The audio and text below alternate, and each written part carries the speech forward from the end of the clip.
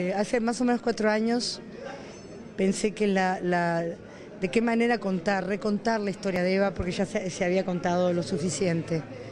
Y mm, entonces pensé usar un recurso que incluyera todas las edades, pero al mismo tiempo que incluyera la posibilidad de la metáfora.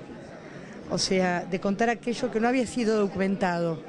Y de que a pesar de contar aquello que no había sido documentado, que fuera, eh, que Eva fuera Eva.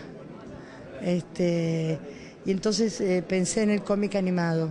Saber que encima los dibujos este, eran de Solano López, que es alguien que admiro desde siempre, me, me convencieron y ver el tráiler también. Así que estoy muy feliz de ser parte del proyecto y estoy muy contento de cómo quedó el, el producto final.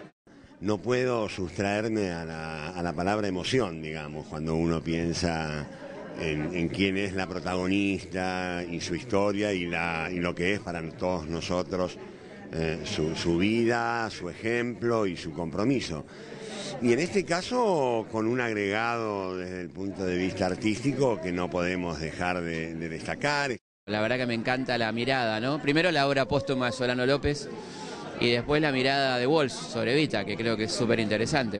Yo creo que Vita está más allá del partido político, creo que es un ser eh, muy especial, eh, tiene que ver con una mujer que, salió de la nada, de un pueblo y llegó muy lejos, pionera total, eh, con, un, con un imán, con un despliegue, con una versatilidad única y creo que tantos años después seguimos hablando de ella. Realmente es una maravilla, es una maravilla, porque es historia es memoria. Y sobre esta mujer, ¿no es cierto?